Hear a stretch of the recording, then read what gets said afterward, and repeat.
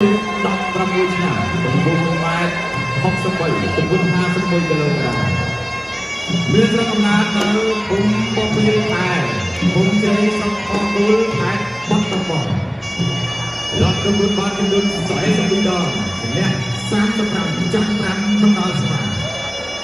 ដូចទីប្រកួតដោយបច្ចេកទេសរបស់គេចំនួន12ដងដូចចម្លើយជាមួយកីឡាករថៃ លទ្ធផលឈ្នះបានទូនឲ្យសន្លប់ក្នុងទឹកទី2ហើយគំរូតាមរបៀបរលឹកគំរូគ្រូការគឺលោកសននាងអត់ឡើងយុវដ្ឋានអង្គរៈ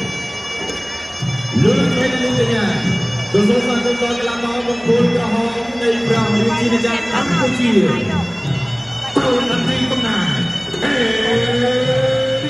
រៀបស្មី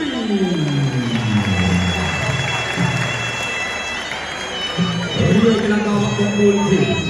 ទីនេះអាយុ29ឆ្នាំកម្ពស់1.57ម៉ែត្រទម្ងន់51គីឡូក្រាមដូចគ្នាពីប្រពន្ធរបស់ជីវិត80ដងឈ្នះ65ចាញ់14ស្មើ1ទីក្រុមគឺប្រកួតដោយបច្ចេកទេសរបស់គេចំនួន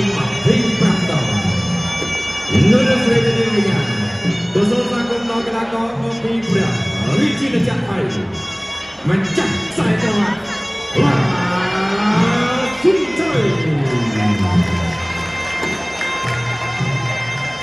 បាយបាទូយ៉ាងស្នេហ៍ជននេះគឺជាប្រវត្តិរឿងសង្ខេបដែលខ្ញុំបានជម្រាបជូនសម្រាប់ការប្រកួតរួមអន្តរជាតិអន្តរជាតិកម្ពុជាថៃ